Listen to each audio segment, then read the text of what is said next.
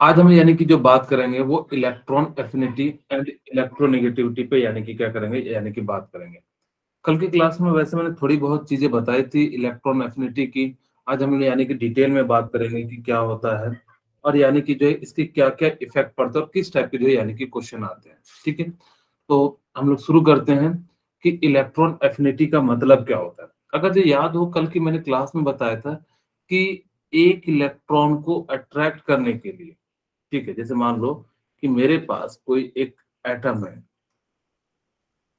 ठीक है, ये मान लो मेरे पास क्या है, कोई एक एटम है, और अब मुझे बताओ कि बाहर में एक इलेक्ट्रॉन है, ये इलेक्ट्रॉन इसको खींच के अंदर ले आएगा, क्योंकि इसको रिक्वायरमेंट होती है, जब जिसको क्या होती है रिक्वायरमेंट होती है तो क्या करेगा, खींच लेगा, इस दौरान यानी कि क्या करेगा एनर्जी रिलीज़ करेगा, ठीक है, यानी कि क्या करेगा, ये जो है एनर्जी रिलीज़ करेगा।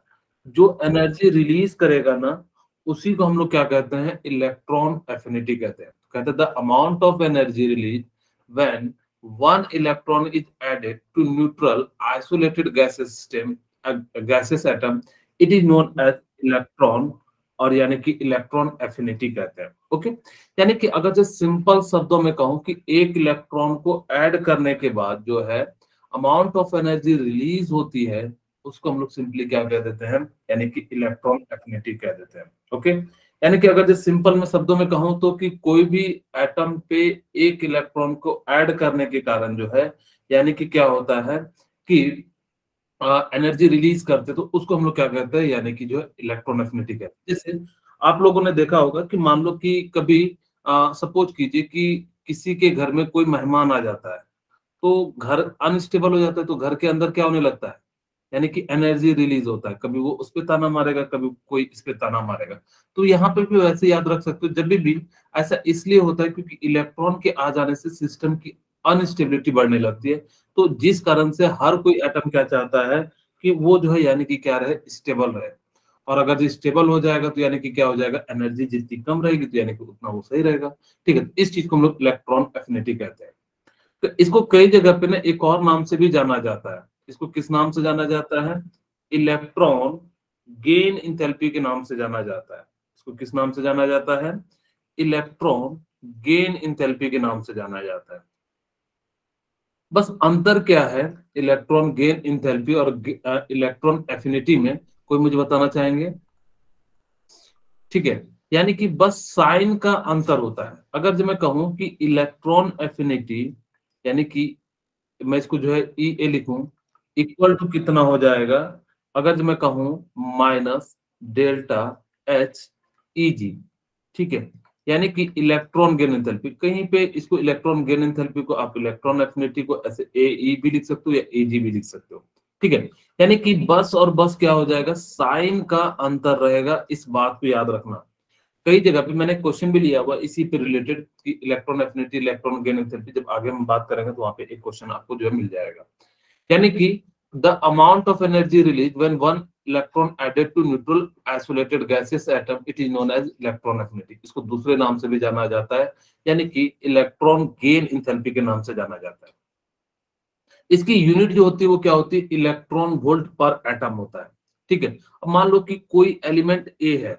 अगर जो ए पे एक इलेक्ट्रॉन दे दोगे तो यानी कि क्या हो जाएगा? ए निगेटिव हो जाएगा। मैंने आपको बताया था कि कब निगेटिव होता है, कब पॉजिटिव होता है। आपको शायद याद होगा कि जब मैंने क्या कहा था कि कोई भी अगर मुझे कोई चीज़ देता है तो जैसे मान लो ए ने मुझे क्या दिया, मैं बी हूँ या एस हूँ ए जब देता है तो ए पॉजिटिव हो जाएगा, जिसने लिया वो क्या हो जाएगा नेगेटिव हो जाएगा। यहाँ पे ए ने एक इलेक्ट्रॉन लिया और जैसे ही एक इलेक्ट्रॉन लिया तो जिसपे के कारण से यानी कि क्या बन गया? ए माइनस बन गया। और आपको पता है कि जैसे ही हमारे पास ए प्लस है तो यानी कि क्या हो जाएगा? जो देता है वो पॉजिटिव जो लेता है वो क्या हो जाता है? निगेटिव हो जाता है। तो इस प्रकार से। अच्छा मुझे बताइए कि कोई सिस्टम की यानी कि ये इलेक्ट्रॉन गेन एंथैल्पी है ये कौन सी एनर्जी है? इलेक्ट्रॉन गेन एंथैल्पी एनर्जी है। इलेक्ट्रॉन गेन एंथैल्पी यानी कि कितनी है? यानी कि हमारे पास जो है ये एट इलेक्ट्रॉन वोल्ट है। ठीक है? आ, या इलेक्ट्रॉन एफिनिटी लिख देता हूँ इसको। ज़्यादा अच्छा रहेगा। इलेक्ट्रॉन एफिनिटी अगर जब मेरे पास ये इलेक्ट्रॉन एफिनिटी एक इलेक्ट्रॉन वोल्ट है तो मतलब मुझे बताइए कि इसकी इलेक्ट्रॉन गेन एफिनिटी कितनी हो जाएगी इलेक्ट्रॉन गेन इंथैल्पी यानी कि डेल्टा एच जी कितनी हो जाएगी? मेरा क्वेश्चन समझ में आया या नहीं? मैं फिर से समझाता हूँ कि मेरे को कहा कि एक कोई एलिमेंट ए है, उसमें एक इलेक्ट्रॉन ऐड किए तो ऐड करते तो उस पर निगेटिव चार्ज आता है। क्यों? क्योंकि उसके अंदर अगर मैं तो समझाने का प्रयास करूँ, जैसे सपोज़ करो कि मेरे पास कोई ऑक्सीजन एटम है, ठीक है? अगर उसके पास न्यूट्रल में एट प्रोटॉन होंगे एट इलेक्ट्रॉन होंगे, ठीक है? मैं इलेक्ट्रॉन को छोटी ई से रिप्रेजेंट कर देता हूँ, ठीक है? यानी कि एट इलेक्ट्रॉन होंगे। अब मुझे बताइए कि एक इलेक्ट्रॉन और दे दोगे, यानी कि इसके पास कितने प्रोटॉन हो जाएँगे? एट प्रोटॉन हो जाएँगे, ठीक है? अगर एट प्रोटॉन हो जाएँगे तो इलेक्ट्रॉन अब कितने हो जाएँगे? नाइन इलेक्ट्रॉन एट प्रोटॉन और एट इलेक्ट्रॉन तो न्यूट्रल हो जाएगा, बचेगा क्या चार्ज एक इलेक्ट्रॉन का इस कारण से यानी कि क्या हो जाता है? निगेटिव चार्ज और पॉजिटिव चार्ज होता है। मेरे ख्याल से ये सारी चीज़ें वैसे आपको आती होगी। फिर मैंने एक बार जो है आपको हिंट देने का प्रयास किया। ठीक है? अब यानी कि आपसे पूछ रहा है कि इलेक्ट्रॉन एफिनिटी इसकी इतनी दी है तो आपको बताना है कि इलेक्ट्रॉन गेन इंथैल्पी कितनी हो जाएगी। बताइए। यानी कि डेल्टा हाँ माइनस में यानी कि आ जाएगा। अगर ये ई ए कितना दिया? एट इलेक्ट्रॉन वोल्ट यानी कि इसको माइनस कितना हो जाएगा? एट इलेक्ट्रॉन वोल्ट हो जाएगा। किन्हीं को यहाँ तक कोई दिक्कत है तो आप लोग पूछ सकते हैं। ठीक है मन में कोई दिक्कत हो तो बताइए। ठीक है? ओके ठीक है। चलिए तो यहाँ तक किसी को कोई दिक्कत नहीं होना चाहिए। क्या अंतर होता है कि इलेक्ट्रॉन एफिनिटी और क्या होता है इलेक्ट्रॉन गेन इंथैल्पी में? ठीक है? मेरे ख्याल से यहाँ तक किन्हीं को कोई दिक्कत नहीं होगा। अब हम बात करते हैं सक्सेसिव इलेक्ट्रॉन एफिनिटी पे। मान लो मेरे पास कोई एलिमेंट है ई e, ठीक है? अगर मेरे पास एलिमेंट ई e है, मैं इसको एक इलेक्ट्रॉन दूँगा, ये क्या हो जाएगा? ई e माइनस हो जाएगा। फिर से, अगर मैंने क्या करा कि इसको जो दिया, यानी कि ई e प्लस को वन ई यानी कि ये क्या हो जाएगा? ई माइनस माइनस हो जाएगा। और अगर जो ई माइनस माइनस को फिर से हम एक इलेक्ट्रॉन देंगे तो ये कैसा हो जाएगा? ई माइनस माइनस ठीक है, तीन माइनस कह दो। मैं इसको three minus two minus short form में लिख देता हूँ। इन्हीं को कोई दिक्कत हो तो बता देना। Minus two minus three three minus को हमने क्या कर दिया? इस प्रकार से लिख दिया। अगर मैं इसकी, यानी कि इंथेल्पी निकालू या इलेक्ट्रॉन एफिनिटी निकालू, इसकी इलेक्ट्रॉन एफिनिटी वन हो जाएगी, इसकी इलेक्ट्रॉन एफिनिटी यानी कि टू हो जाएगी, इसकी इलेक्ट्रॉन एफिनिटी क्या हो जाएगी? थ्री हो जाएगी। इसकी वैल्यू जनरली पॉजिटिव होती है। याद रखना जनरली मैं लिख रहा हूँ। कई बार बच्चे जो है, यानी कि मैं बताता हूँ तो कहते हैं कि, सर, आपने तो कहा तो मैंने क्या लिखा? जनरली यानी कि जनरली इसकी वैल्यू पॉजिटिव होती है और इसकी वैल्यू निगेटिव होती है, इसकी वैल्यू निगेटिव होती है। ठीक है? यानी कि फ़र्स्ट इलेक्ट्रॉन को जब आप ऐड करोगे तो खुद निकालेगा। लेकिन जब सेकेंड इलेक्ट्रॉन को आप ऐड करोगे तो यानी कि बाहर से ज़बरदस्ती, जैसे मान लो कि आप लोग क्लास में नहीं हो, मैं एक क्लास में ये बेंच बना रहा हूँ। ठीक है? अब मैंने क्या करा, यहाँ पे जो है, यानी कि एक बेंच बनाया। अब जैसे ही बेंच बनाया, अब इसकी कैपेसिटी यानी कि कितने की दो की। तो मैंने कहा कि दो की है तो भाई दो दो आदमी बैठ जाओ। मैंने कहा कि यार, एक काम करो, तीसरा को एडजस्ट कर लो तो तीसरे को एडजस्ट कर लेगा। कोई उतना ज़्यादा इसमें नहीं होगा। लेकिन मैंने कहा कि अब चौथे को ऐड करो। ये बेंच दो स्टूडेंट का है। मैं इसको थोड़ा छोटा बना देता हूँ, ताकि आप लोगों को क्लियरली फील आ जाए। ठीक है? यहाँ से जो है मैं इसको आप लोगों में बैठा होगा, कभी ऐसा सीन आया है कि नहीं आया? मेरे साथ तो आया था। मैं जब ऑफलाइन पढ़ाया था तो मेरे साथ ये बड़ा सीन आता था। ठीक है? अब मान लो कि मेरी क्लास में जो है, यानी कि दो एक बेंच पे दो बच्चे बैठने की कैपेसिटी है। ठीक है? अब जब दो बच्चे की बैठने की कैपेसिटी है, अब मैंने कहा कि भाई, बच्चे बढ़ गए तो यानी कि क्या करोगे? एक इसको और कहोगे, भाई, किसी तरह एडजस्ट कर ले। तो लोग तीन कहेंगे, चलो, ठीक है गुड इवनिंग वो एडजस्ट कर लेंगे। लेकिन अब मान लो कि चौथा आ जाए तो क्या एडजस्ट करना चाहेगा? नहीं। वो आपस में लड़ने लगे, तू उधर जा, तू इधर जा। तो फिर मेरे को क्या करना पड़ता था? डंटे लेके यानी कि क्या करना पड़ता था? उसको जो है यानी कि बैठाना पड़ता था। यानी कि बाहर से एनर्जी देंगे। अभी सिस्टम से एनर्जी निकल रही थी, लेकिन अब बैठाने के लिए मुझे ज़बरदस्ती देना पड़ रहा है, यानी कि डांटना पड़ रहा है, बैठ जा, बैठा ले। या जो भी मुझे जो है मैं क्योंकि वो वर्ड नहीं बोलूँगा क्योंकि क्लास के दौरान जो है यहाँ पे रिकॉर्डिंग हो रही है इसीलिए। यानी कि कई बार डांटना भी पड़ता था जिस कारण से यानी कि जो है उसको जो है आ, हम लोग यहाँ पे देना पड़ता था बाहर से एनर्जी यानी किस प्रकार से जब आप पहला तो यानी कि खुद एडजस्ट कर लेगा लेकिन दूसरा तीसरा ऐसे जैसे बढ़ाते चले जाओगे तो यानी कि जो है बाहर से एनर्जी देनी पड़ेगी। खुद सोचो कि कॉमन सी बात है कि अगर किसी भी एटम के अंदर इलेक्ट्रॉन की संख्या बढ़ती चली जाएगी रिपल्सन बहुत ज़्यादा होगा। अगर जब रिपल्सन ज़्यादा होगा तो यानी कि वो इलेक्ट्रॉन क्यों रखेगा? अगर जब नहीं रखेगा तो जिस कारण से यानी कि क्या करना पड़ेगा? ज़बरदस्ती आपको एनर्जी देके रखना पड़ेगा। बाहर से उसको प्रेशर देके या जो भी कंडीशन देके यानी कि इलेक्ट्रॉन को रखना पड़ेगा। यानी कि आपको याद रखना कि जैसे जैसे आपकी एफिनिटी बढ़ती चली जाती है तो उसकी वैल्यू निगेटिव होती चली जाती है। ठीक है? तो यानी कि इस बात को याद रखना कि पहला तो यानी कि पॉजिटिव होगा, दूसरा तो यानी कि क्या हो जाएगा? निगेटिव हो जाएगा। मेरे ख्याल से इतनी सी बात समझ में आ गई तीसरा भी क्या हो जाएगा? निगेटिव आ जाएगा। इन्हीं को कोई दिक्कत है तो बताइए। बोलिए। ओके नीलम कुछ बोल नहीं रहे हैं? यस सर हाँ। तो आप आज बोल नहीं रहे हैं? लेट आए इसलिए क्या? ठीक है। यानी कि सर सर मैं बीमार हो गई हूँ। ओके ठीक है। तो फिर आप आराम से खाली पढ़िए। ठीक है? और अपना ध्यान रखिए। यानी कि आपके पास यानी कि क्या है कि यहाँ पर से ई ए थ्री यानी कि क्या हो जाएगा? निगेटिव होते चल जाएगा। अब देखो, जैसे एक क्वेश्चन पूछता हूँ। जैसे मेरे पास क्वेश्चन है ए में एक इलेक्ट्रॉन ऐड करेंगे तो इलेक्ट्रॉन एफिनिटी फ़र्स्ट हो जाएगा। ए माइनस में दूसरा इलेक्ट्रॉन एफिनिटी ऐड करेंगे तो यानी कि, अब आपको बताना कि इसमें से कौन सा राइट आंसर है।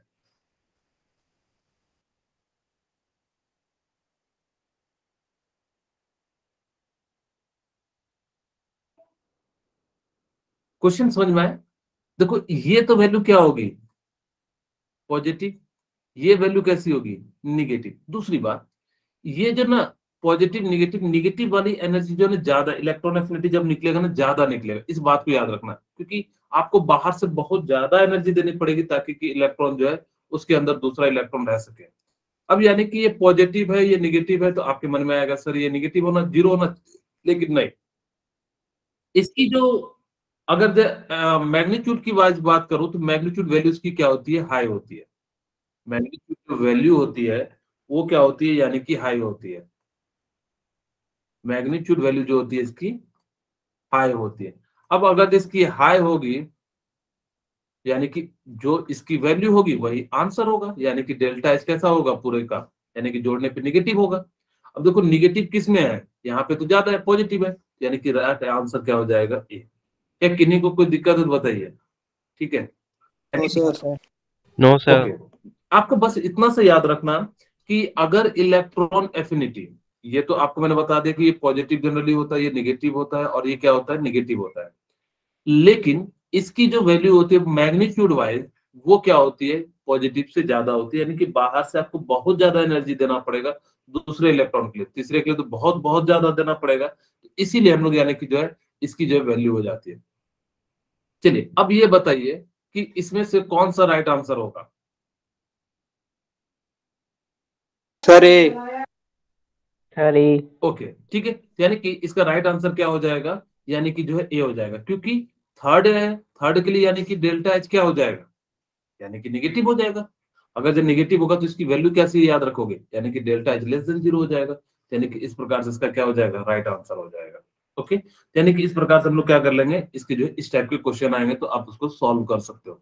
बस आपको दो बातें याद रखनी है कि अगर पहला जो होगा पॉजिटिव होगा, दूसरा जो है मैग्नीट्यूड बाय यानी कि क्या हो जाएगा?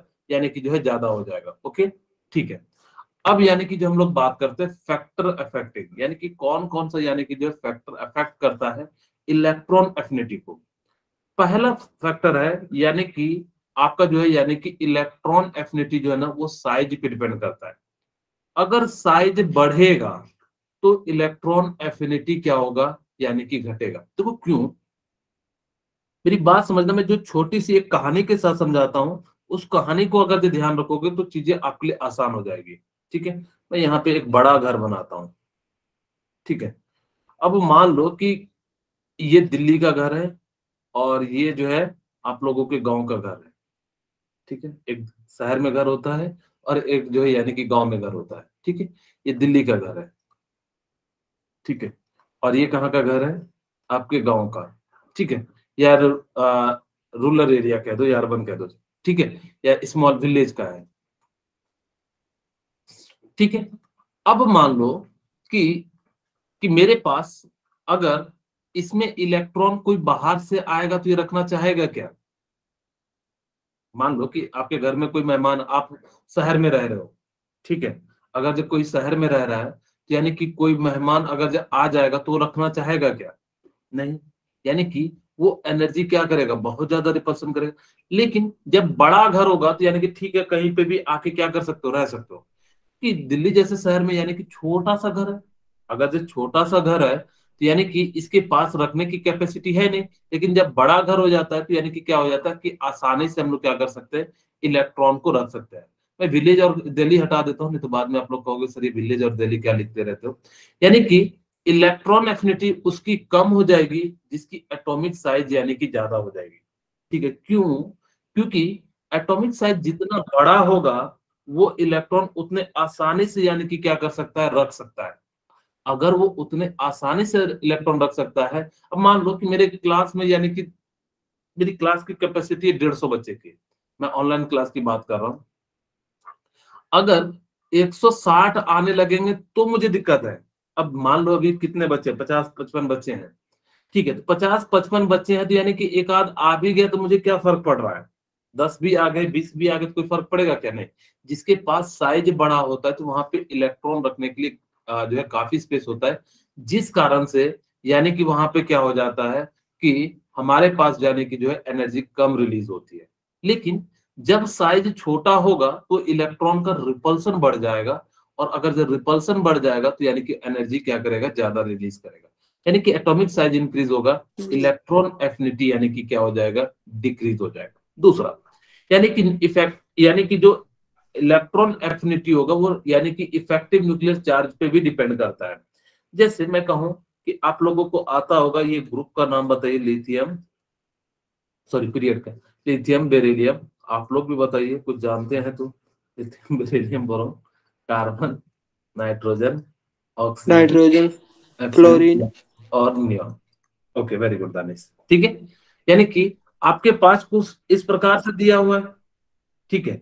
अगर मुझे कुछ इस प्रकार से दिया हुआ है, यानी कि इधर साइड जाने पे इफ़ेक्टिव न्यूक्लियर चार्ज क्या होता है? बढ़ता है। ठीक है, मैं अभी नियॉन को हटा देता हूँ। यानी कि इफ़ेक्टिव न्यूक्लियर चार्ज क्या होता है? बढ़ता है तो वहाँ पे भी बढ़ता है, लेकिन थोड़ा सा वो दूसरा केस आ जाता है। इफ़ेक्टिव न्यूक्लियर चार्ज एक्सेप्शन होता है ठीक है, यानी कि न्यूक्लियर चार्ज बढ़ेगा। अब अगर जो न्यूक्लियर चार्ज बढ़ेगा, आप जैसे जैसे इसका साइज़ छोटा हो जाएगा यानी कि चार्ज इस पे बढ़ जाएगा तो यानी कि इलेक्ट्रॉन को रिपेल करने की टेंडेंसी बढ़ जाएगी। अगर जो इलेक्ट्रॉन को रिपेल करने की टेंडेंसी बढ़ जाएगी तो जिस कारण से यानी कि क्या हो जाएगा? यहाँ से यानी कि क्या हो जाएगा कि इलेक्ट्रॉन जो है यानी कि आपको ज़्यादा एनर्जी देनी पड़ेगी। यानी कि यहाँ से क्या होगी? तब ज़्यादा एनर्जी रिलीज़ होगी। यानी कि इलेक्ट्रॉन एफिनिटी जो है वो डायरेक्टली प्रोपोर्शनल हो जाता है न्यूक्लियर चार्ज के। दूसरा बात करते हैं यानी कि हाफ़ फ़ील्ड आपको पता है कि हाफ़ फ़ील्ड एंड जो फुल फ़ील्ड होता है वो क्या होता है? ज़्यादा स्टेबल होता है। ठीक है? यानी कि वो क्या हो जाता है? ज़्यादा स्टेबल होता है। अगर जब वो स्टेबल होगा तो यानी कि वो इलेक्ट्रॉन लेना चाहेगा क्या? नहीं। यानी कि जो कंपाउंड स्टेबल हो जाएगा वो इलेक्ट्रॉन लेना चाहेगा क्या? नहीं। यानी कि हाँ जब सर हाँ हाँ, तो यानी सर। कि अगर जो इलेक्ट्रॉन नहीं लेना चाहेगा तो उसकी यानी कि एनर्जी क्यों रिलीज़ करेगा? वो बहुत ही कम यानी कि एनर्जी को क्या करता है? रिलीज़ करता है। यानी कि इलेक्ट्रॉन एफिनिटी ज़ीरो हो जाता है या बहुत बहुत कम हो जाता है। यानी कि वो लेता ही नहीं है। यानी कि पी थ्री हो डी फाइव हो पी सिक्स हो डी टेन हो ये जो भी कंपाउंड हो यानी कि क्या हो जाता है कि इस प्रकार से हो जाता है। ओके तो मेरे ख्याल से यहाँ तक किसी को कोई दिक्कत पूछ सकते हैं? किन्हीं के मन में कोई. दुविधा हो? ओके हाँ सर अब यहाँ पे ध्यान दीजिए। ये बहुत बहुत इंपॉर्टेंट है। वीवीआई लगा लेना। जब आप कॉपी में लिखोगे तो यानी कि इससे बहुत सारे आपको क्वेश्चन मिलेंगे। अब देखो जनरल ट्रेंड मैंने कहा कि अगर मैं इस डायरेक्शन में चलता तो इलेक्ट्रॉन एफिनिटी क्या होती? अभी जस्ट मैंने बताया देखो यहाँ पे कि अगर जो मेरे पास पीरियड है तो यानी कि इस डायरेक्शन में चलोगे तो यानी कि इफ़ेक्टिव न्यूक्लियर चार्ज बढ़ेगा। यानी कि अगर जैसे जैसे साइज़ छोटा हो तो चले जाएगा। यानी कि इलेक्ट्रॉन एफिनिटी इंक्रीज होना चाहिए। यहाँ भी लिख देता हूँ मैं क्या कि बच्चे भूल जाएँगे कि यहाँ पे क्या हो जाएगा? इलेक्ट्रॉन एफिनिटी क्या हो जाएगा? इंक्रीज हो जाएगा। ठीक है? अगर जैसे जैसे यहाँ से यहाँ की ओर जाओगे इलेक्ट्रॉन एफिनिटी इंक्रीज होगा, इस हिसाब से हमारे पास क्या बनना चाहिए था? कि सबसे ज़्यादा नियॉन का होना चाहिए, सबसे सॉरी इधर जो है नियॉन का सबसे कम हो जाता है क्योंकि स्टेबल हो जाता है इलेक्ट्रॉनिक कॉन्फ़िगरेशन के। अब उसके बाद यानी कि फिर सबसे ज़्यादा किसका किसका होना चाहिए था? लिथियम का। उनका लिख दिया डायरेक्शन ठीक है।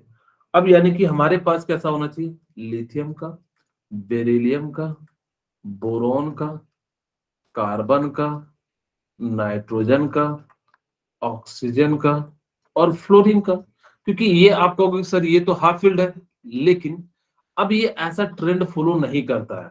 क्यों नहीं करता है? अब यहाँ पे रीजन समझिए, मैं इलेक्ट्रॉनिक कॉन्फ़िगरेशन लिखता हूँ, ठीक है? ऐसा करना चाहिए, लेकिन ऐसा करता नहीं है, क्यों नहीं करता है? आपको पता है इसकी इलेक्ट्रॉनिक कॉन्फ़िगरेशन कितनी हो जाती है? टू एस वन, ठीक है? इसकी कितनी हो जाती है? टू एस टू, और इसकी कितनी हो जाती है? थ्री पी वन, और इसकी कितनी हो जाती है? थ्री पी टू, इसकी कितनी हो जाती है? थ्री पी थ्री, और इसकी कितनी हो जाती है? थ्री पी फोर और इसकी कितनी हो जाती है? थ्री पी फाइव और थ्री सिक्स मैंने आपको कहा कि जो हाफ़ फ़ील्ड या फुल फ़ील्ड होंगे, उनकी यानी कि इलेक्ट्रॉन एफिनिटी यानी कि क्या हो जाएगी? बहुत कम हो जाएगी। यानी कि जो भी half filled and full filled होंगे, यानी कि उनकी स्टेबिलिटी क्या हो जाएगी? यानी कि बिल्कुल ज़ीरो हो जाएगी। जस्ट मैंने आपको कहा था कि जो भी हाफ़ फ़ील्ड फुल फ़ील्ड होंगे वो इलेक्ट्रॉन लेना नहीं चाहेगा। अगर वो इलेक्ट्रॉन लेना नहीं चाहेगा तो जिस कारण से, यानी कि क्या हो जाएगा? उसकी इलेक्ट्रॉन एफिनिटी ज़ीरो हो जाएगी। इस हिसाब से, अभी मैंने आयनाइजेशन में कहा था कि बस एक एक जंप कर देना। लेकिन यहाँ पे वैसा नहीं चलता है। यहाँ पे क्या होता है कि नियोन क्या कर जाता है? और नाइट्रोजन और बेरिलियम ये तीनों के लगभग लगभग क्या हो जाता है? यानी कि जो ज़ीरो हो जाता है। यानी कि अब जब ज़ीरो हो जाता है तो यानी कि एक्सपेरिमेंटली देखा गया, अगर मैं इस हिसाब से बनाऊँगा तो यहाँ पे देखा गया कि ये जो वैल्यू है, वो कुछ इस प्रकार से आ रही थी। यानी कि इलेक्ट्रॉन एफिनिटी का जो ट्रेंड है, वो कुछ इस प्रकार से आ रहा था, ठीक है? यानी कि इस ऐसे यानी कि मैं कहूँ कि जो एग्जैक्ट ये जो है एक्सपेरिमेंट है, आपके मन में फिर से क्वेश्चन आना चाहिए कि, सर, ठीक है, मुझे ये तो समझ में आ गया। कि बेरिलियम नाइट्रोजन और न्यून का यानी कि तीनों की स्टेबल है तो यानी कि जो इसकी क्या होगी सबसे ज़ीरो के बराबर हो जाएगी। फिर आपने लिखा बोरोन ठीक है मेरे को सब, लेकिन लिथियम आपने क्यों नहीं लिखा? एक्चुअली ये ना एक्सपेरिमेंटल डाटा है। कई बच्चे मुझसे पूछते हैं कि सर ठीक है आपने ये तो मुझे बता दिया कि बेरिलियम नाइट्रोजन नियोन है ये हाफ़ फ़ील्ड स्टेबिलिटी है जिस कारण से आपने कहा कि इनकी जो ज़ीरो होती है, मैंने मान लिया कि ये तीनों तो ज़ीरो हो गए। यहाँ पे देखो तीनों के तीनों के करीब करीब जो है ज़ीरो है, ये बेरिलेस है। अब देखो, यानी कि लिखना क्या चाहिए था? कि आपके अनुसार से जिसकी साइज़ बड़ी होगी, उसकी इलेक्ट्रॉन एफिनिटी कम होगी। यानी कि लिथियम की लिखनी चाहिए थी टू एस वन की।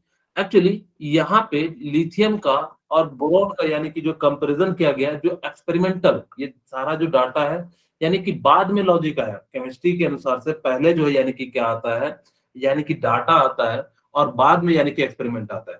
कुछ चीज़ों को हम लोग एक्सप्लेन करते हैं, कुछ चीज़ों को हम लोग क्या कह देते हैं बाय एक्सपेरिमेंटल आया, जिसको हम लोग क्या कहते हैं यानी कि एक्सेप्शन कहते हैं।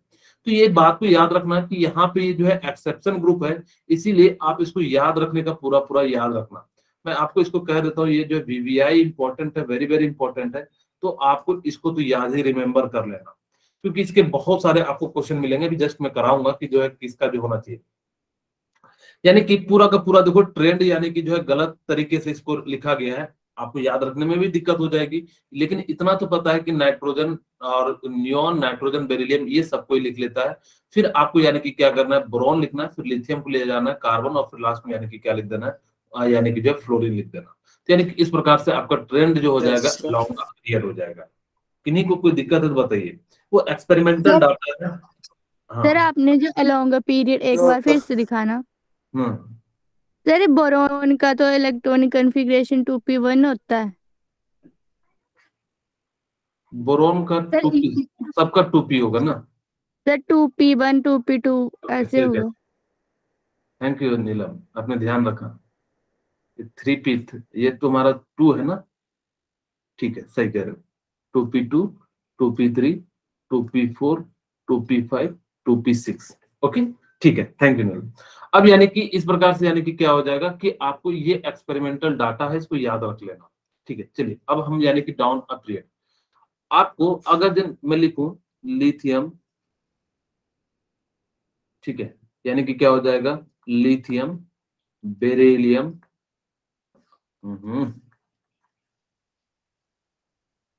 sodium potassium rubidium और यानी कि क्या हो जाएगा?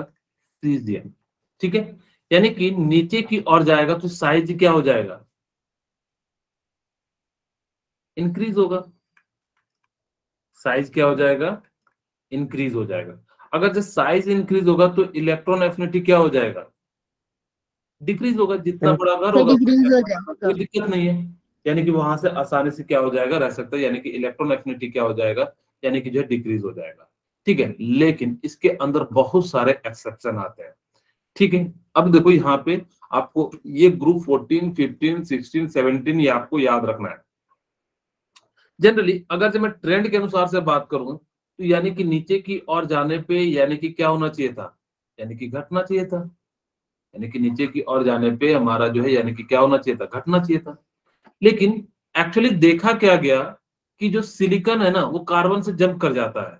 देखो यहाँ पे, इसकी जो इलेक्ट्रॉन एफिनिटी होती है, यानी कि वैसे तो सबसे, यानी कि किसमें होना चाहिए था? यहाँ पे ऐसा कहा जाता है कि इसकी साइज़ और इसकी इलेक्ट्रोनिगेटिविटी के कारण ये जो है, यानी कि क्या करता है, बहुत ज़्यादा एनर्जी जो है रिलीज़ करता है। अब जैसे सबसे ज़्यादा किसका हो जाएगा? कार्बन का हो जाएगा। वैसे अगर जो देखो तो कार्बन का होना चाहिए था। लेकिन कहते हैं कि इसकी साइज़ और इलेक्ट्रोनिगेटिविटी होने के कारण, ये परफेक्ट शेप होने के कारण ये इलेक्ट्रॉन को एक्सेप्ट नहीं करना चाहता।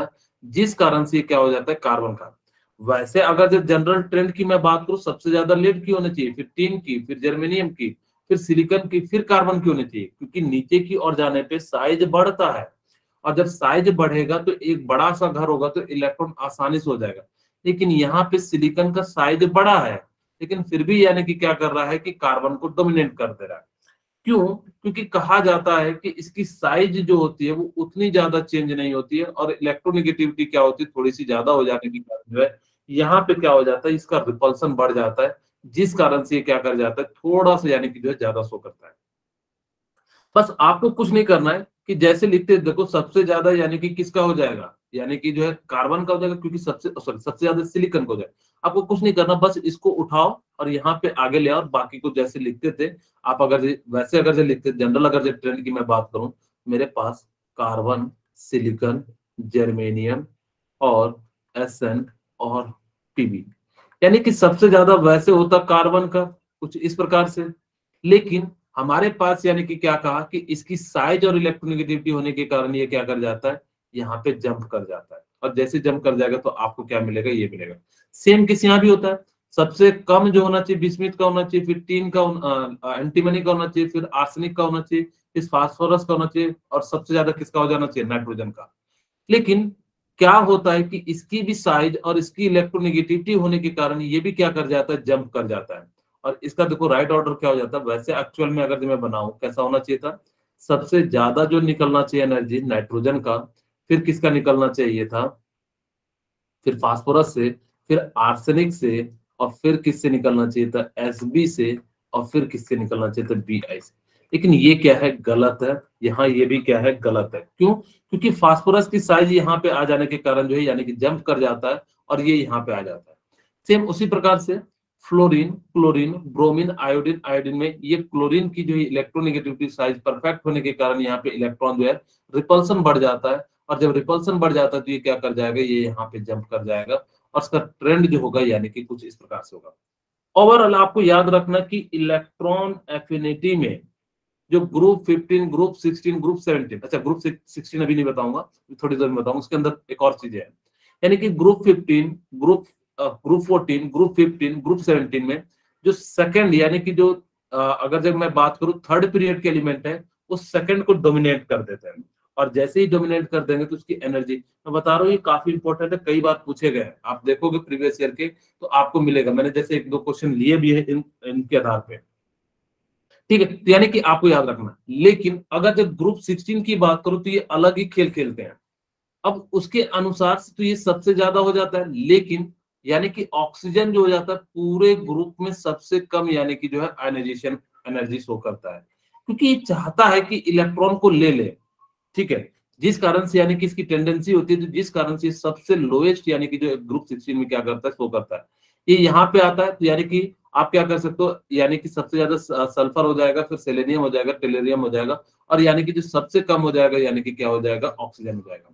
क्योंकि नीचे की ओर जाने पे इलेक्ट्रॉन एफिनिटी डिक्रीज करती है, ऊपर की ओर जाने पे इलेक्ट्रॉन एफिनिटी क्या होती है इंक्रीज हो जाती है। तो सबसे कम तो टेलेरियम का होना चाहिए था, फिर सेलेनियम का सॉरी फिर उससे ज़्यादा यानी कि सेलेनियम का, फिर सल्फ़र का, फिर ऑक्सीजन का। लेकिन ये हमें कहा कि जस्ट ट्रेंड में होता कि ये आगे आ जाता तो चीज़ें बिल्कुल सबके लिए चारों के चारों के लिए बिल्कुल सेम ट्रेंड होता। लेकिन यहाँ पे देखा गया कि एक्सपेरिमेंटल डाटा से कि जो ऑक्सीजन है ना, वो लोएस्ट इलेक्ट्रॉन एफिनिटी शो कर रहा है, और इसका जो ट्रेंड था, वो क्या था? कुछ इस प्रकार से था। अब आपको ये चारों के चारों ट्रेंड याद रखने मैं ये बीच वाले मिटा देता हूँ ताकि कि आपको कंफ्यूजन ना हो। आपको जो रेड कलर वाला जो अच्छा आप रख मैं रहने देता हूँ ताकि कि आप लोग लेकिन आपको जो याद रखना है वो रेड वाला याद रखना है ठीक है? आपको जो याद रखना है वो कौन सा रखना है? रेड वाला जो है यानी कि याद रखना है। ये पूरी इलेक्ट्रॉन एफिनिटी की कहानी थी। अब देखो यानी कि आपसे जो है क्वेश्चन पूछते हैं कि किस प्रकार से देखो जस्ट मैंने अभी बताया था उसी पे रिलेटेड क्वेश्चन है। सर एक बार पीछे वाला पेज दिखाना। Okay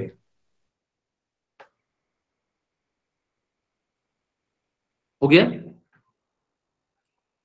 sir. ओके, ठीक है। अगर हमसे पूछा जाए ना, ग्रुप 16 और ग्रुप 17 में किसकी इलेक्ट्रॉन एफिनिटी ज़्यादा होगी तो बताइए किसकी होगी? ग्रुप 17 की इलेक्ट्रॉन एफिनिटी ज़्यादा हो जाएगी, ठीक है? अब यहाँ पे हम लोग निकालते हैं। अब हमारे पास देखो सॉरी ग्रुप 16 की इलेक्ट्रॉन एफिनिटी क्या हो जाती है? ज़्यादा हो जाती है, ठीक है? एक मिनट चेक कर लेते हैं हमारे पास क्या है ऑक्सीजन और यानी कि जो है सल्फ़र और यहाँ पे क्या है? फ्लोरीन और यहाँ पे क्लोरीन ठीक है? अब यानी कि इसकी इलेक्ट्रोनिगेटिविटी सबसे ज़्यादा किसकी हो जाएगी? क्लोरीन की हो जाएगी क्योंकि जस्ट ये क्या कर रहा है? और यहाँ पे सबसे कम किसकी हो जाएगी? ऑक्सीजन की पूरे ट्रेंड में। यानी कि इसमें तो सबसे ज़्यादा सल्फ़र का हो जाएगा इसमें ऑक्सीजन का हो जाएगा। और यहाँ पे देखो यानी कि किसका हो जाएगा? क्लोरीन का ज़्यादा हो जाएगा और क्या हो जाएगा? फ्लोरीन का हो जाएगा। यहाँ तक तो यानी कि हमने ट्रेंड जैसे भी हमने पढ़ा तो वहाँ के अनुसार से निकाल लिया। अब यानी कि अब हमें यानी कि देखना है कि सबसे ज़्यादा क्लोरीन का होगा या सल्फ़र का होगा? तो हमेशा ध्यान रखना कि जो ग्रुप 17 है, ग्रुप 17 की इलेक्ट्रॉन एफिनिटी जो होती है, वो क्या हो जाती है? ज़्यादा होती है। किसके कंपैरिजन में? ग्रुप 16 के। ठीक है? अब यानी कि जो है देखो कि किसका सबसे ज़्यादा होना चाहिए? क्लोरीन का। तो क्लोरीन कहाँ सबसे ज़्यादा है? यानी कि जो है बी में क्लोरीन, फिर उसका फ्लोरीन फिर यानी कि जो है सल्फ़र और सबसे कम किसका हो जाएगा? ऑक्सीजन। अब इस बात को याद भी रख लेना कि जो ग्रुप 16 होते हैं उनकी इलेक्ट्रॉन एफिनिटी क्या होती है? यानी कि जो है आ, कम होती है कंपैरिजन टू। वैसे भी जनरल ट्रेंड है यानी कि इस डायरेक्शन में जाओगे तो यानी कि क्या हो जाएगा? यहाँ पे वैल्यू मिल जाएगा। ओके ये क्वेश्चन आप लोगों को समझ में आया या नहीं आया? यस सर ओके ये मेरे ख्याल से जे मेंस का ही क्वेश्चन है तो इस टाइप से आपसे क्वेश्चन पूछा जाएगा। ये देखो ये पता नहीं, दस बारह बार ये वाला क्वेश्चन पूछा जा चुका है, क्या आप लोग बनाना चाहोगे? बिल्कुल सही बनाना। जनरल दुनिया बनाएगी तो गलत बनाएगी, आप अगर एक्सेप्शन का यूज़ करके बनाओगे तो बिल्कुल सही बनेगी। ठीक है तो यानी कि जो है आप लोग इसको फटाफट से बहुत ही आसान सा क्वेश्चन मैंने जस्ट अभी इसका लॉजिक बता दिया आपके लिए तो आप लोग इसको प्लीज़ बनाइए। चीज़ों को एक एक बार ना रिवाइज ज़रूर करते रहना, क्योंकि चीज़ें जो है, अगर रिवाइज नहीं करोगे तो भूलते चले जाओगे। ठीक है? चलिए, मैं बना दू।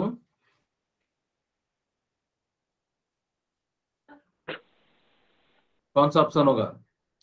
चलिए, मैं लिखता हूँ। मेरे पास फ्लोरीन क्लोरीन ब्रोमीन आयोडीन है। ठीक है? यानी कि अगर जनरल ट्रेंड लिखता तो सबसे कम तो आयोडीन का होता, फिर ब्रोमीन का होता, फिर किसका हो जाता? क्लोरीन का, और सबसे ज़्यादा किसका हो जाता? फ्लोरीन का। ठीक है? लेकिन हमने क्या कहा कि जो क्लोरीन है, वो क्या कर जाता है? यानी कि जंप कर जाता है। और जंप करके यानी कि कहा जाता है? आगे आ जाता है। यानी कि क्या हो जाएगा? आयोडीन सबसे ज़्यादा कम हो जाएगा, फिर क्लोरीन और यानी कि यहाँ पे फ्लोरिन और यहाँ पे क्या आ जाएगा क्लोरीन अब देखो यानी कि कौन सा ऑप्शन में यानी कि इस प्रकार से दिया हुआ है? यानी कि जो है सबसे ज़्यादा हमारे पास क्या दिया हो क्लोरीन कहाँ पे है? कोई ऑप्शन है? हम्म। सर यहाँ हम्म। क्लोरीन का ऑप्शन ही नहीं दिया आपने। ओके हमने डायरेक्शन गलत ले लिया क्लोरीन होगा। यानी कि फ्लोरीन सबसे जो है डायरेक्शन थोड़ा सा ये गलत हो गया है। ठीक है। बी आएगा सर। हाँ ये थोड़ा सा डायरेक्शन हमने गलत लिख दिया इधर। वन मिनट ठीक है? यानी कि सबसे ज़्यादा क्या हो जाना चाहिए? इस प्रकार से होना चाहिए। ठीक है? तो यानी कि अब यानी कि क्या हो जाएगा? जो बी आंसर हो जाएगा। थोड़ा सा डायरेक्शन देने में जो गलत हो गया था। तो इस प्रकार से इसका जो है राइट आंसर क्या हो जाएगा? सबसे ज़्यादा यानी कि फ्लोरीन हो लेकिन फ्लोरीन होता भी तो नहीं होगा ना? ये डायरेक्शन फ्लोरीन होगा। सही है ये डायरेक्शन सही दिया हुआ क्योंकि यानी कि फ्लोरीन से तो ज़्यादा क्लोरीन होगा ना? यस सर बस इन्होंने जो है घुमा के लिखा हुआ है आंसर यानी कि क्या हो जाएगा? फ्लोरीन से अभी भी ज़्यादा क्लोरीन है देखो फ्लोरीन से ज़्यादा की क्या है? क्लोरीन ज़्यादा ही है यहाँ भी ज़्यादा है। इन्होंने थोड़ा सा यानी कि क्या करा है? घुमा के लिख दिया यानी कि बिल्कुल डायरेक्शन इन्होंने सही लिखा इसका राइट आंसर क्या हो जाएगा? बी हो जाएगा। ठीक है? यानी कि ऐसा नहीं लिख के उन्होंने सीधा सीधा नहीं लिखा है बस कंफ्यूज करने के लिए उन्होंने क्या करा? डायरेक्शन को ही चेंज कर दिया। तो जब डायरेक्शन को ही चेंज कर दिया तो कुछ इस प्रकार से बनेगा। यानी कि अभी भी देखो फ्लोरिन से ज़्यादा क्लोरीन है। यहाँ भी फ्लोरिन से ज़्यादा क्लोरीन है, यहाँ भी फ्लोरिन से ज़्यादा क्लोरीन है। बाकी को उन्होंने क्या कर दिया? इससे कम कर दिया है। कोई चीज़ें हो गई, कोई दिक्कत नहीं है। ठीक है? अच्छा आप लोग ये बनाइए, क्वेश्चन नेक्स्ट बनाइए फटाफट से।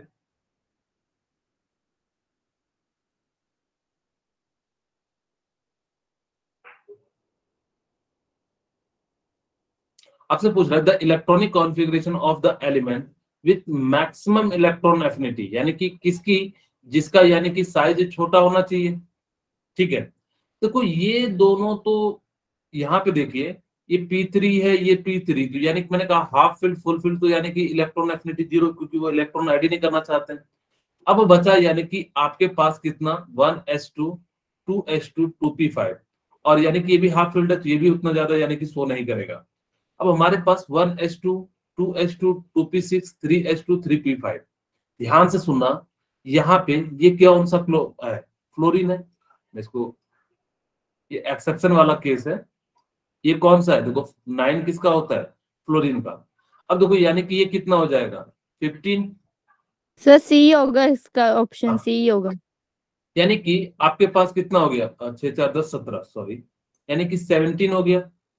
अगर जब सेवनटीन होता है तो यानी कि किसका हो जाता है? क्लोरीन का। और आपको पता है फ्लोरीन और क्लोरीन में किसकी ज़्यादा होती है? मैक्सिमम कितनी हो जाती है? क्लोरीन की। यानी कि इसका राइट आंसर क्या हो जाएगा? क्लोरीन। अगर जो साइज़ के अनुसार से चलते तो यानी कि क्या हो जाता है? ये गलत हो जाता है। आप जनरली किसको मार के आते हैं? मैक्सिमम यानी कि बी को मारते लेकिन ये कैसा क्वेश्चन है एक्सेप्शन टाइप वाला है यानी कि इस प्रकार से इसका क्या हो जाएगा? राइट आंसर जो है इस प्रकार से हो जाएगा। ओके तो यहाँ पे जो है इस प्रकार से इसको जो है सी आंसर मार देना। किन्हीं को कोई दिक्कत है तो बताइए। नो सर अब हम बात करते हैं इलेक्ट्रोनेगेटिविटी की। यानी कि इलेक्ट्रोनेगेटिविटी का मतलब क्या होता है कि किसी चीज़ को अट्रैक्ट करने की टेंडेंसी देखो इलेक्ट्रॉन एफिनिटी का मतलब होता है यानी कि भूख लगना सॉरी यानी कि इलेक्ट्रॉन की खाने की टेंडेंसी यानी कि इलेक्ट्रोनेगेटिविटी का मतलब होता है किसी चीज़ की और अट्रैक्ट होना या अट्रैक्ट करना। जैसे electronegativity is a chemical property that describe the tendency of an atom or a functional group to attract electron towards itself. ये अट्रैक्ट करने की टेंडेंसी है। जबकि वो वहाँ पे क्या था? इलेक्ट्रॉन को रखने की टेंडेंसी को कह रहे थे। जबकि यहाँ पे क्या है कि अट्रैक्ट करेगा, खींचेगा। जैसे चुंबक जो है, यानी कि क्या करेगा? कि खींचता है। वो किसी चीज़ को रख नहीं सकता। वो क्या करेगा? उसके पुलिंग कैपेसिटी है। तो यानी कि उस चीज़ को हम लोग क्या कहते हैं? इलेक्ट्रोनिक सिंपल शब्दों में कहूँ कि किसी भी चीज़ को खाने की इच्छा को हम लोग क्या कहते हैं? इलेक्ट्रोनिगेटिविटी कहते हैं। आप कितना खा रहे हो ये इलेक्ट्रॉन एफिनिटी कहते हैं। मेरे ख्याल से थोड़ी सी आ, आप लोगों को इन लॉजिक लग रही होगी सर खाने पीने की बात कर रहे हैं। लेकिन फिर भी आपको मैं कह रहा हूँ कि अब जैसे मान लो कि शादी में पार्टी में जाते हैं यानी कि हम कहते हैं ये ये खाएँगे। ये हमारी इलेक्ट्रोनिगेटिविटी है। यानी कि खाने की टेंडेंस मतलब जो इच्छा कर रही कि ये खाएँगे। लेकिन आपने क्या खाया, वो इलेक्ट्रॉन एफिनिटी है। यानी कि electronegativity is a chemical property that describe the tendency of atom और a functional group to attract electron towards itself यानी कि इलेक्ट्रॉन को अट्रैक्ट करने की टेंडेंसी को हम लोग क्या कहते हैं? यानी कि जो है जो है इलेक्ट्रोनेगेटिविटी कहते हैं। इसका जो सिंबल होता है ना, वो कुछ इस प्रकार से होता है। ठीक है एक्स को यानी कि थोड़ा सा यानी कि कर देते हैं, जिसको जीटा कहते हैं। ठीक है, अब यानी कि इट सिंबल इज़ एक्स इसको हम लोग क्या कहते हैं? जीटा कहते हैं। इसकी कोई यूनिट नहीं होती। है एक बार क्वेश्चन भी पूछा गया था इलेक्ट्रोनिगेटिविटी की क्या यूनिट होती है तो आपको बताना इसकी कोई यूनिट नहीं होता, क्योंकि ये रिलेटिव टर्म होते हैं। ठीक है? यानी कि अब यहाँ पे दोनों में डिफरेंस बता देता हूँ क्या क्या डिफरेंस है इलेक्ट्रॉन एफिनिटी और क्या होता है इलेक्ट्रॉन इलेक्ट्रोनिगेटिविटी क्योंकि बच्चे कंफ्यूज करते हैं कि सर दोनों ही तो इलेक्ट्रॉन को खींच रहे हैं। एक अपने पास रख रहा है, एक खींचने की टेंडेंसी है। देखो इलेक्ट्रॉन अपने it have tendency to accept electron यानी कि ये क्या करेगा? कि इलेक्ट्रॉन को एक्सेप्ट कर लेगा, यानी कि रख लेगा, जबकि इसके पास क्या है टेंडेंसी है इलेक्ट्रॉन को अट्रैक्ट करने की। बहुत छोटी सी बात है, लेकिन आप समझने का प्रयास करो। इलेक्ट्रॉन एफिनिटी का मतलब है कि आप गए और उन्होंने जो है, यानी कि क्या कर लिया, रख लिया। लेकिन इलेक्ट्रोनिगेटिविटी का मतलब होता है इलेक्ट्रॉन को खींचने की टेंडेंसी यानी कि आप कितना खींच सकते हो, यानी कि जो है, यानी कि क्या हो जाएगा, ये इलेक्ट्रोनिगेटिविटी हो जाएगा।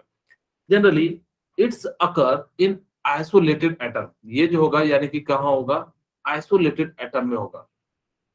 ठीक है? यानी कि आइसोलेटेड एटम का मतलब क्या होता है? जो अकेला अकेला एटम होगा, वहाँ पे होगा। जबकि यहाँ पे जो होगा, यानी कि क्या होगा? कोवलेंट बॉन्ड में होगा। ठीक है? यानी कि क्या हो जाएगा? कोवेलेंट बॉन्ड में होगा।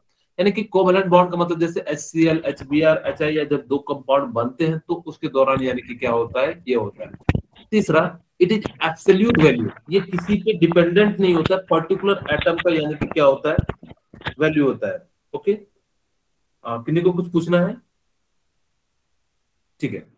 It is a relative value ये जो है यानी कि क्या है? रिलेटिव वैल्यू जब रिलेटिव वैल्यू निकालोगे तो यानी क्या आएगा? कोई यूनिट नहीं आएगा, क्योंकि ऊपर भी इलेक्ट्रोनिगेटिविटी नीचे भी इलेक्ट्रोनिगेटिविटी किसी के रेफरेंस में निकाले जैसे मैं कहता हूँ कि कोई बच्चा तेज कितना है?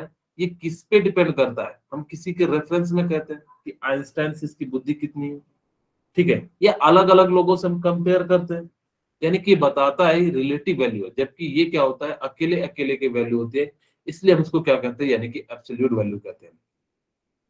जबकि इसकी unit electron volt per atom और किलो जूल पर मोल होता है। जबकि इसकी कोई भी यूनिट नहीं होती है। मेरे ख्याल से क्या आप लोग समझ पा रहे हैं? यानी कि इसकी जो यूनिट होगी कोई भी यूनिट नहीं होगी इलेक्ट्रोनिगेटिविटी की और जबकि इसकी जो यूनिट होगी वो क्या हो जाएगी? यानी कि जो इलेक्ट्रॉन वोल्ट पर एटम और किलो जूल पर मोल हो जाएगा। बस सिंपल बात याद रखना कि इलेक्ट्रॉन एफिनिटी का मतलब होता है आप कितनी रोटी खा रहे हो और आप कितनी रोटी खाना चाहते हो। बस इतने से आपको याद रह जाएगा तो चीज़ें जो है आपके लिए काम बन जाएँगी। ठीक है? अब यानी कि फैक्टर कौन कौन से यानी कि जो है अफेक्ट करते हैं इलेक्ट्रोनिगेटिविटी को? यानी कि जो है कौन कौन से यानी कि जो है डिपेंड करते हैं। अगर मैं कहूँ कि साइज़ ऑफ़ एटम यानी कि जो साइज़ ऑफ़ एटम होगा, वो क्या डिपेंड करेगा? यानी कि इलेक्ट्रोनिगेटिविटी यानी कि जिसका साइज़ जितना कम होगा, उसकी इलेक्ट्रोनिगेटिविटी उतनी ज़्यादा होगी। इलेक्ट्रोनिगेटिविटी का मतलब खींचने की टेंडेंसी जितना न्यूक्लियस के करीब होगा, मान लो कि सपोज़ करो कि ये इलेक्ट्रॉन है। ये यहाँ पे इलेक्ट्रॉन है। और यहाँ पे एक इलेक्ट्रॉन में दो तीन सेल बना देता हूँ। ठीक है? ठीक है? अब मान लो कि इसके पास जितना दूरी पे है, यहाँ पे भी जितने दूरी पे है।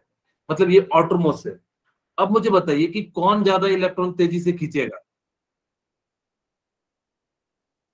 बताइए, कौन तेज़ी से? पहला वाला खींचेगा या दूसरा वाला?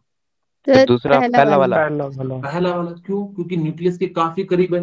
न्यूक्लियस फोर्स ऑफ़ अट्रैक्शन लगाएगा। तो यानी कि क्या कर लेगा? आसानी से खींच लेगा। लेकिन ये क्या करेगा? काफ़ी दूर एक तो वैसे भी ऑटोमोस से हमने कहा कि दोनों की बराबर दूरी रहती भले यहाँ पे दिख नहीं रहा होगा मैं बराबर कर देता हूँ। इरेजर आ गया है। ठीक है। अब मान लो कि मेरे पास यानी कि क्या हो गया कि दोनों बराबर दूरी पे है। तो ये आउटरमोस्ट से मैंने कहा कि दोनों को बराबर दूरी पे रखा है। लेकिन ये तो यहाँ से न्यूक्लियस से काफ़ी दूर हो गए क्योंकि न्यूक्लियस फोर्स ऑफ़ अट्रैक्शन लगाएगा लेकिन ये फोर्स ऑफ़ अट्रैक्शन काफ़ी दूर हो गया देखो कितना ज़्यादा डिस्टेंस हो गया। यहाँ पे थोड़ा सा कम डिस्टेंस हो गया जिस कारण से यानी कि क्या हो जाएगा कि इलेक्ट्रोनिगेटिविटी यानी कि किस पे डिपेंड करता है यानी कि एटम के साइज़ पे डिपेंड करता है। अगर जो साइज़ ज़्यादा होगा कि अगर जो इलेक्ट्रोनिगेटिविटी डिक्रीज होगा कब जब क्या हो जाएगा साइज़ क्या होगा? इंक्रीज होगा। इंक्रीज होगा वेरी गुड अगर जो इलेक्ट्रोनिगेटिविटी यानी कि इंक्रीज होगा कब? जब क्या हो जाएगा साइज़ डिक्रीज होगा। डिक्रीज हो जाएगा। आपको पता है कि जब इधर साइड की ओर जाते हो तो यानी कि साइज़ क्या होता है? डिक्रीज होता है। Yes अगर जब डिक्रीज होता है जब हम लेफ़्ट टू राइट जाते हैं तो यानी कि एटम का जो साइज़ है वो डिक्रीज होता है। जिस कारण से यानी कि जो इधर की ओर जाने पे इलेक्ट्रोनेगेटिविटी क्या होती चली जाएगी? यानी कि जो इंक्रीज होती चली जाएगी। ठीक है? हम सेकंड की बात बात बताएँ, यानी कि न्यूक्लियर चार्ज अब अगर जितना ज़्यादा न्यूक्लियर चार्ज होगा, बात वही चीज़ है जिसमें यहाँ पे लिखू lithium beryllium boron carbon nitrogen oxygen fluorine ठीक है? यानी कि अगर इस डायरेक्शन में जाएँगे तो यानी कि न्यूक्लियर इफ़ेक्टिव न्यूक्लियर चार्ज क्या होगा? इंक्रीज होगा। यानी कि इफ़ेक्टिव न्यूक्लियर चार्ज क्या हो जाएगा? इंक्रीज हो जाएगा। अगर जो इफ़ेक्टिव न्यूक्लियर चार्ज यानी कि क्या हो गया? इंक्रीज हो गया। अगर जो इंक्रीज हो जाएगा तो यानी कि साइज़ डिक्रीज हो जाएगा। मैं यहाँ पे भी लिख देता हूँ। साइज़ क्या हो जाएगा? डिक्रीज हो जाएगा। अगर जो साइज़ डिक्रीज हो जाएगा तो इलेक्ट्रोनेगेटिविटी क्या हो जाएगा? इंक्रीज हो जाएगा। इंक्रीज हो जाएगा। कि अगर जेड की वैल्यू इंक्रीज करोगे तो इलेक्ट्रोनेगेटिविटी की वैल्यू क्या हो जाएगी? इंक्रीज हो जाएगी। कैसे हो जाएगी? क्योंकि चार्ज इंक्रीज होगा तो यानी कि उसको होल्ड करके रखेगा, यानी कि साइज़ डिक्रीज हो जाएगा और साइज़ डिक्रीज हो जाएगा तो यानी कि इलेक्ट्रोनेगेटिविटी क्या हो जाएगा? यानी कि इंक्रीज हो जाएगा। तो ये जो है यानी कि क्या करेगा? यानी कि आपके लिए फैक्टर का काम करेगा। तीसरा चार्ज ऑन कटायन यानी कि क्या चार्ज है? इस चीज़ पे भी डिपेंड करता है कि उस पे। जैसे मान लो कि इलेक्ट्रोनेगेटिविटी पे जितना पॉजिटिव चार्ज होगा वो उतना ज़्यादा यानी कि इलेक्ट्रॉन को खींचेगा। बताओ, इसके पास बेचारे के पास दो, जैसे मान लो कि किसी के पास जो चीज़ की कमी होता है, वो उधर जाता है। जैसे मान लो कि मैं कह रहा हूँ कि मेरे पास यानी कि सपोज़ कीजिए कि पैसे की कमी है तो मैं क्या चाहूँगा कि जहाँ से मिलेगा मैं फटाफट से ट्रैक कर लूँगा। इस बेचारे के पास इलेक्ट्रॉन की तीन कमी है, इसके पास दो कमी है। यानी कि इलेक्ट्रॉन जहाँ देखेगा, तुरंत क्या करना चाहेगा? खींचना चाहेगा। यानी कि पॉजिटिव का मतलब क्या हो गया कि तीन इलेक्ट्रॉन दे दिया है। अब दे दिया तो बेचारे के पास यानी कि तीन इलेक्ट्रॉन की कमी है। जहाँ भी देखेगा इलेक्ट्रॉन क्या करेगा? खींचेगा। तो यानी कि इसकी वैल्यू क्या हो जाएगी? यानी कि ज़्यादा हो जाएगी। यानी कि जिसपे पॉजिटिव चार्ज ज़्यादा होगा, अगर हम कहें पॉजिटिव चार्ज यानी कि इंक्रीज होगा तो इलेक्ट्रोनेगेटिविटी क्या हो जाएगा? इंक्रीज हो जाएगा। ठीक है? यानी कि इलेक्ट्रोनेगेटिविटी क्या हो जाएगा? इंक्रीज क्यों? क्योंकि खींचने की टेंडेंसी तो यानी कि जिसपे जितना ज़्यादा पॉजिटिव चार्ज होगा, उतना ज़्यादा खींचेगा। बताओ, इसमें कौन सबसे ज़्यादा खींचेगा? एम एन प्लस सिक्स खींचेगा? वेरी गुड वंस यानी कि जो है एम एन प्लस सिक्स खींचेगा। लेकिन जब एनाइन की बात आती है जस्ट अपोजिट होता है। यानी कि अब इलेक्ट्रॉन लेगा क्या? उसके पास पहले से ऑलरेडी है इलेक्ट्रॉन अब मान लो कि हलवाई वाले को क्या फ़र्क पड़ता है? रसगुल्ला सौ बचे या हज़ार बचे? उसको कोई फ़र्क पड़ता है क्या? नहीं। उसको तो वैसे भी, अब वो जो चीज़ नहीं खाया होगा, उस चीज़ को उसको ज़्यादा इंटरेस्ट होगा। अब यानी कि देखना, जो हलवाई के जो बच्चे होते हैं, उनको कभी कहना कि, चलो, तुम्हें आज रसगुल्ला खिलाता हूँ। वो कभी इंटरेस्ट लेगा क्या? नहीं। यानी कि इसके पास ऑलरेडी यानी कि इलेक्ट्रॉन है बहुत ज़्यादा। यानी कि अब ये बताओ कि सबसे ज़्यादा इलेक्ट्रोनिगेटिविटी किसमें होगी? यानी कि इसमें होगी। फिर किसमें होगी? इसमें होगी। यहाँ पे किसमें होगी? यानी कि इसमें होगी। यानी कि इलेक्ट्रोनिगेटिविटी यानी निगेटिव चार्ज जितना कम होगा इलेक्ट्रॉन को उतना ज़्यादा खींचेगा या इलेक्ट्रोनेगेटिविटी उतना ज़्यादा होगा? यस yes, इंक्रीज होगी। क्यों? आप रीजन समझना। मैंने क्यों कहा कि पॉजिटिव में बेचारे के पास कमी है। अब जिसको जिस चीज़ की कमी होती है वो क्या करेगा? उसको खींचेगा। यानी कि यहाँ पे इलेक्ट्रॉन को खींचने की टेंडेंसी बहुत ज़्यादा है। ठीक है? जबकि यहाँ पे निगेटिव चार्ज में ऑलरेडी इसके पास यानी कि क्या है? निगेटिव भरे पड़े हैं। अगर जो निगेटिव भरे पड़े हुए हैं यानी कि क्या करेगा? रिपेल करेगा। अब इसके पास दे दोगे तो यानी कहेगा भाई मेरे पास तो वैसे भी ऑलरेडी बहुत सारे इलेक्ट्रॉन पड़ गए हैं। यानी कि मेरा जो यानी कि क्या हो जाएगा इलेक्ट्रॉन किसी तरह से ले लो लेकिन आप दोगे तो यानी कि रखना चाहेगा? नहीं यानी कि सबसे अच्छे से कौन रखना पड़ेगा? जिसके पास कम निगेटिव चार्ज है वो एडजस्ट करेगा। Yes, जैसे मान लो कि सपोज़ करो कि मेरे पास तीन रूम है ठीक है? अब सबकी कैपेसिटी दो दो इलेक्ट्रॉन की है। अब दो दो इलेक्ट्रॉन की है। मैंने कहा कि पहले वाले को भाई तू किसी तरह से एडजस्ट कर ले। इसने कहा कि मैंने जो है चार आदमी को एडजस्ट करके रखा है। इसने कहा कि भाई मैंने तीन आदमी को एडजस्ट करके रखा और इसने कहा कि मैंने जो है एक आदमी को एडजस्ट करके रखा। अब यानी कि, अब खुद बताओ कि यानी कि ये इसके पास जाकर तो ये रखना चाहेगा इलेक्ट्रॉन क्या? या आदमी को नहीं? कहेगा, भाई मेरे पास तो ऑलरेडी मैं कहा रखूँगा? उसी तरीके से सबसे कम जिसपे नेगेटिव चार्ज आ जाएगा, यानी कि वो क्या करेगा? यानी कि इलेक्ट्रॉन को जो है आसानी से रख लेगा। यानी कि जिसपे निगेटिव चार्ज ज़्यादा होगा, वो क्या करेगा? कि इलेक्ट्रॉन जो है यानी कि जिसमें जितना कम होगा इलेक्ट्रोनेगेटिविटी उसकी जो है उतनी ज़्यादा हो जाएगी। मेरे ख्याल से यहाँ तक किन्हीं को कोई दिक्कत है तो बताइए। नो सर ओके चलिए अब यानी कि हम हाइब्रिडाइजेशन की बात करते हैं। यानी कि जिसके अंदर परसेंटेज ऑफ़ एस करेक्टर ज़्यादा होगा उसकी इलेक्ट्रोनेगेटिविटी ज़्यादा होगी। कोई मुझे बता सकते यहाँ पे एस का परसेंटेज कितना है? फिफ्टी परसेंट है। ठीक है यहाँ पे कितना परसेंटेज है एस का? यानी कि आप लोगों को अगर ऐसा कभी दिया रहे परसेंटेज पूछा जाए वैसे तो नीट में पूछता है जेमेंस में कभी पूछा नहीं है, ना पूछेगा जनरली अगर जैसे जिसका पूछा एस कितना है वन टोटल कितने? पी के दो ऑर्बिटल है, इसके एक है तो यानी कि तीन। आप इसको हंड्रेड से मल्टीप्लाई कर दो यानी कि कितना हो जाएगा? तैतीस दशमलव तीन तीन। यानी कि यहाँ पे एस का कैरेक्टर कितना है? तैतीस दशमलव तीन तीन। अगर जब पी का निकालना रहता तो टू कर देते। मुझे यहाँ पे बताइए कितना हो जाएगा? एस यानी कि वन है। टोटल एस के वन आइटम मतलब एस के ऑर्बिटल वन है पी के तीन है तो यानी कि कितने हो जाएँगे? फोर इंटू हंड्रेड यानी कि कितना परसेंटेज हो जाएगा? ट्वेंटी फाइव परसेंट जिसमें जितना ज़्यादा एस का करेक्टर होगा एस करेक्टर ठीक है? एस करेक्टर यानी कि हाई होगा हाई तो यानी कि उसकी इलेक्ट्रोनेगेटिविटी क्या हो जाएगी? इलेक्ट्रोनेगेटिविटी हाई हो जाएगा।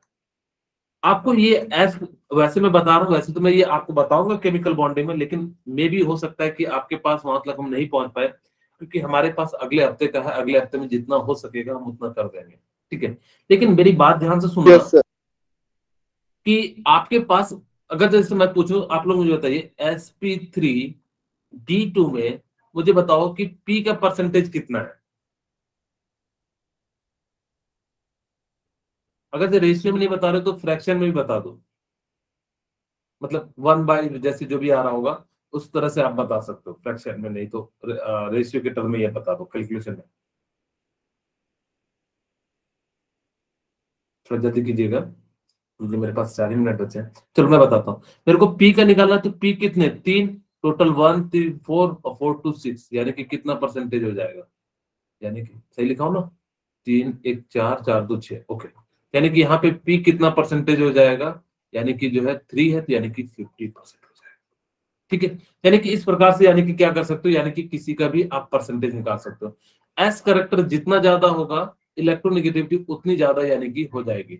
अब यानी कि हम पीरियड में बात करते हैं। जब पीरियड में आप चलोगे तो इस डायरेक्शन में जब चलोगे तो इलेक्ट्रोनिगेटिविटी क्या हो जाएगी? इंक्रीज होती है। क्योंकि साइज़ क्या हो जाती है? इंक्रीज हो डिक्रीज होती है क्योंकि साइज़ यहाँ पे क्या हो जाती है?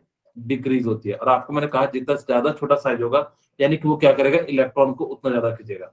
लेकिन डाउन द ग्रुप चलोगे तो यानी कि क्या हो जाएगा? कि साइज़ इंक्रीज होती है। अगर जब साइज़ इंक्रीज होती है तो इलेक्ट्रोनिगेटिविटी भी क्या हो जाएगी? यानी कि जो है डिक्रीज हो जाएगी। क्योंकि जितना होगा वो इलेक्ट्रॉन को उतना ज़्यादा अच्छे से अट्रैक्ट नहीं कर पाएगा। तो जिस कारण से यानी कि इस प्रकार से होगा। अब देखो ये मैं सबसे अच्छा तरीका बता रहा हूँ कि इसको याद रखने का क्या तरीका होता है। आपके बुक में यानी कि अलग अलग तरीके से लिखा होगा हम यहाँ पे आपको शॉर्ट ट्रिक बताएँगे। ये एक्चुअल है ठीक है? ये जो है मैंने क्या करा कि आपके लिए एक्चुअल कुछ वैल्यू जो है मैंने लिख के लाया हूँ। लेकिन आप याद रखना कि ऐसे इसको याद नहीं रखना। आपको मैं कहता हूँ कि सबसे ज़्यादा most electronegative element in the periodic table वो कौन सा हो जाता है? क्लोरीन हो जाता है। आपको बता हाँ यानी कि फ़ोन कॉल कहना, ठीक है? यानी कि फ़ोन कॉल और यानी कि जो करना भी है तो यानी कि कहाँ करना, बिहार में करना। ये चार पाँच एलिमेंट है, यानी कि जो बहुत है। बस थोड़ा सा अंतर याद रखना कि जो फ्लोरीन है ना, आप इसको फोर मान लो। थ्री पॉइंट नाइन एट है तो इसको कितना मान लू मैं? मैं याद करने का तरीका बता रहा हूँ। यानी कि कितना मान लोगे? फोर मान लो। बस आप पॉइंट फाइव फाइव घटाते चले जाओ। तो थ्री पॉइंट फाइव हो जाएगा, ये थ्री हो जाएगा, ये टू पॉइंट फाइव हो जाएगा, ये टू हो जाएगा ये 1.5 हो जाएगा और ये वन हो जाएगा। क्या किन्हीं को ये याद रखने में दिक्कत होगा क्या? फ्लोरीन को हम अगर याद रख लेते हैं तो यानी कि बाकी हमारे पास यानी कि क्या हो जाएगा? याद हो जाएगा। ठीक है चलिए। आपको ये याद रखना है कि नाइट्रोजन और क्लोरीन का ना लगभग लगभग इक्वल हो जाता है। यहाँ पे मैंने थोड़ा सा अंतर लिखा है लेकिन कई जगह पे कहाँ पे? नाइट्रोजन और क्लोरीन देखो यहाँ पे 3.014 यानी कि जो थोड़ा सा ज़्यादा इसलिए मैंने इसको नाइट्रोजन को पहले लिखा है और क्लोरीन को यानी कि जो क्या लिख दिया है? यानी कि सॉरी यहाँ पे नाइट्रोजन 3.0 है और क्लोरीन 3.16 है। क्लोरीन का ज़्यादा होना चाहिए लेकिन सीक्वेंस बनाने के लिए मैंने क्या करा कि फ़ोन कॉल करो बिहार में। तो यानी कि आपको याद रखने के लिए ये चार एलिमेंट जब भी, भी दिखे तो यानी कि क्या हो जाएँगे मोस्ट इलेक्ट्रोनेगेटिव एलिमेंट हो जाएँगे। अब देखो यहाँ पे क्या करना कि इसमें पॉइंट वन वन घटाते चले जाना। देखो वन है अगर जब पॉइंट वन घटाओगे क्योंकि ग्रुप वन है तो यानी कि हम क्या करेंगे पॉइंट वन घटा देंगे। तो point nine eight point one से यानी कि कितना हो जाएगा? यहाँ पे पॉइंट नाइन हो जाएगा। यहाँ पे कितना हो जाएगा? पॉइंट एट हो जाएगा। यहाँ पे कितना घटा दोगे? पॉइंट टू घटा दो, यानी कि कितना हो जाएगा? वन पॉइंट थ्री हो जाएगा। और यहाँ पे पॉइंट टू घटाओगे तो यानी कि वन पॉइंट वन है तो यानी कि वो जो है वन ले लेते हैं अप्रोक्सीमेट आपको ये तरीका मैं बता रहा हूँ, आपको भले ही याद रखना हो तो ये रेड कलर वाला याद रखना, लेकिन आपको ये तरीका भी आपको आना चाहिए ताकि कि आप इसे जो है आसानी से बना सकते हो। खैर अब यहाँ पे देखो, यानी कि जो बोरोन है अल्मोनियम है गैल्मियम है, यानी कि थर्ड ग्रुप है तो यानी कि आप कितना ऐड कर दो, यानी कि बीच में गैप आ रहा था, बहुत सारे डी ब्लॉक यानी कि फोर माइनस कर दोगे तो यानी कि वन पॉइंट सिक्स, फिर यानी कि जो है हाफ़ कर दोगे तो वन पॉइंट एट। आपको इतना तो ज़रूर याद रखना है, ये वाला यहाँ से लेके क्लोरीन का कितना हो जाता है, थ्री, और यानी कि सल्फ़र का टू पॉइंट फाइव हो जाता है, ठीक है? आपको इतना तो ज़रूर याद रखना और यहाँ पे फास्फोरस का हम लोग सिलिकॉन का दो ले लेते हैं और इसका वन पॉइंट फाइव ले लेते हैं और इसका टू ले लेते हैं। ये इतनी सी वैल्यू आपको ये वाली तो याद रखनी ही रखनी है। इसी से आपका ज़्यादा काम बनेगा। और कई जगह पे क्लोरीन का भी आता है और कई जगह पे ब्रोमीन भी आता है। ये बहुत ही आसान है मेरे ख्याल से। यहाँ पे पॉइंट फाइव घटाओगे तो यानी कि जो वन घटा दो थ्री आ जाएगा और यहाँ पे टू पॉइंट नाइन आ जाएगा। यानी कि मैंने इसको सीक्वेंस में भी लिख दिया फ़ोन कॉल जो है फ़ोन कॉल करो यानी कि जो है बिहार में। यानी कि इस प्रकार से आप लोग इसको याद रखना। नेक्स्ट क्लास में इसके जो है एप्लीकेशन बताएँगे। और ये जो लगभग लगभग यूनिट कंप्लीट हो चुका है। अब इनके कुछ छोटे छोटे बच्चे हैं। कौन अनफोटेरिक है? कौन यानी कि जो है, कहाँ पे रिएक्टिविटी ज़्यादा होगी? कौन ऑक्साइड शो करेगा? ज़्यादा चीज़ें बची नहीं है तो अगले क्लास में ये जो है पूरा का पूरा खत्म हो जाएगा। यानी कि